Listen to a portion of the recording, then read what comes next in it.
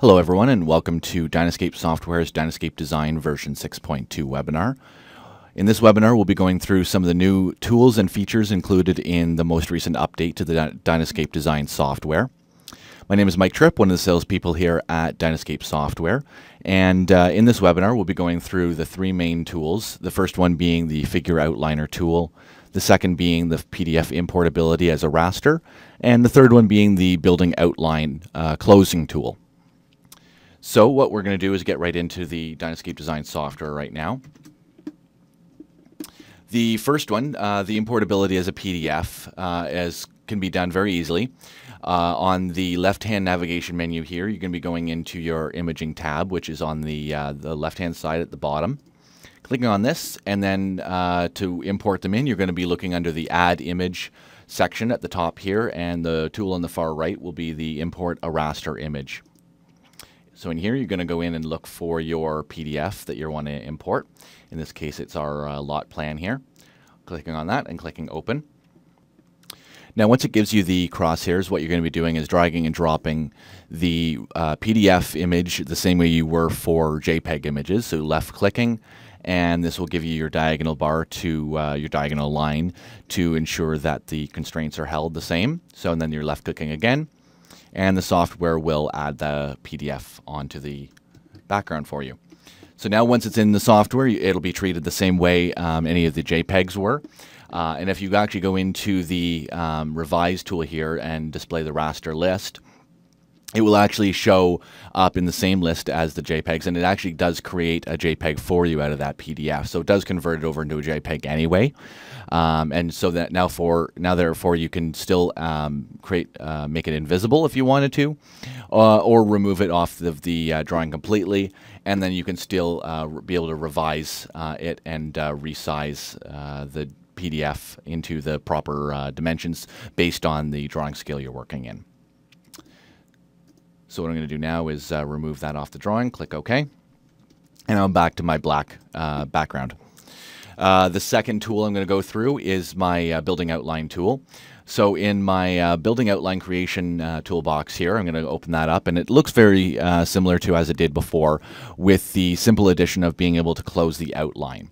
So if anyone remembers um, being able to draw the um, building outline tool before, if I zoom in here a little bit, I was able to uh, add my lines onto my drawing, and I was have to having to basically create a new to, uh, line that went beyond it and have to create a corner out of this. But now what I'm able to do is if I remove this one completely, go into my building outline tool again, click on close outline, and I'm going to be drawing this one uh, the same way I did before. I'm going to be draw dragging and dropping my lines in here. And you can see what it's actually going to do is give me a ghost image here of where the line is going to complete. So I can drag that through.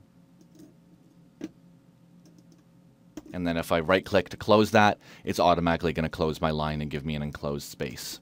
Uh, this can be done obviously in either direction. I can keep drawing my lines here and uh, it'll give me my image of where the, uh, the final line is going to end up. So now I have a full uh, square I can complete. If I can just right click here, it's going to give me a, a completed line, uh, ensuring that you still have your uh, smaller baseline uh, on the outside of it for any uh, lines you're going to add on attached to your house.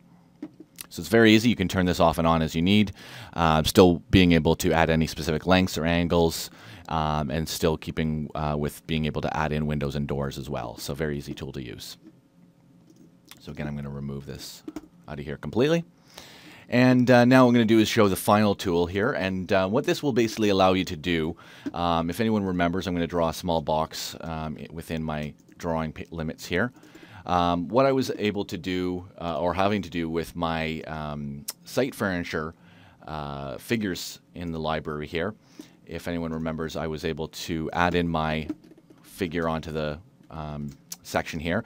And if I wanted to add a hatch pattern, for example, if I select my hatch patterns out of the limit here, or out of the uh, patterns. I was able to select the um, boundary for me, uh, but then adding in my hatch pattern, I was having to, it was either going underneath and covering up my um, site furniture library figure, or um, I was having to explode it and, and create a, a border line around it, which is essentially what this new tool does. So if I remove this information out of here uh, temporarily, so what I'm going to do here is, uh, again, drop in my uh, figure pattern I want to use. I'm going to use my um, outline tool here, and uh, very easy to use. I'm just going to left click on the figure and then right click, and that adds a uh, temporary line around the outside of the figure. So what this uh, will now allow me to do is um, I'm going to draw a line right through uh, my figure and my border. Um, so it's going to start on the outside of my border, go right through my figure, and then on the out to the um, outer extents of my uh, my border area that I'm going to be hatching in. This will basically uh, separate out the areas and allow the calculation of the hatch pattern to be done a little bit easier. So what I'm going to do here is select the hatch pattern I want to use. I'm going to left click in this area and right click. It's going to fill in the hatch pattern for me. And then left click in this area and right click. And it's going to fill it in for me again. Now all uh, I need to do is basically just to remove my line and you have there a uh, completed hatch pattern without interfering with any of your um, details within your um, figure. Uh, of course, if you did want to move your figure at a later time, uh, move it off to a different area, you will have to conduct this process over again. Uh, but overall, this tool does save you a lot of time uh, having to uh, either draw a border around it or uh, exploding the figure and having to, to re-add a figure entirely. So again, to demonstrate, I'm going to show this again. I'm going to uh, switch back onto my all layers on mode so I make sure I delete my uh, existing uh, figure outline.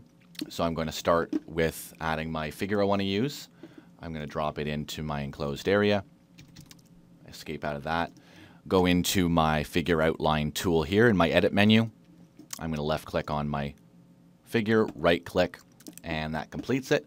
And then I'm going to select a uh, line tool and I'm going to draw a line right through my uh, area I'm going to hatch. This can be done uh, horizontally or vertically. Uh, can be done in any direction as long as it goes through uh, completely the space you're, in, you're um, hatching as well as the figure itself. I'm going to draw it right through. I'm going to select the hatch pattern I want to use. I'm going to left click in here. It's going to give me my border. I'm going to right click. I'm going to left click again in the bottom area here. Right click to complete it. And then all I need to do is remove the line afterwards, and there you have it. So those are the three main tools you're going to be using, or the, the three main updates into the uh, uh, version 6.2. Uh, a couple quick notes. Um, the drawing, the page limits, or the um, uh, border limits of the PDF uh, importability are actually set at uh, 17 by 24. So any 17 by 24 page size and under um, will be able to import very easily into the uh, software. Anything larger than that, um, you may have an issue with, so you may have to condense the size down using a uh, PDF um, resizing tool or uh, program.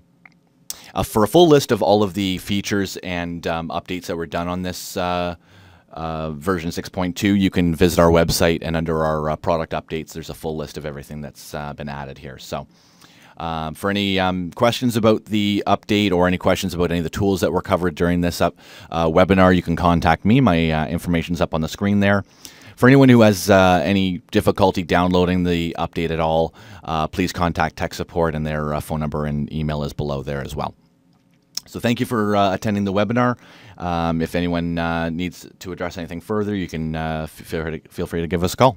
Thank you for your time.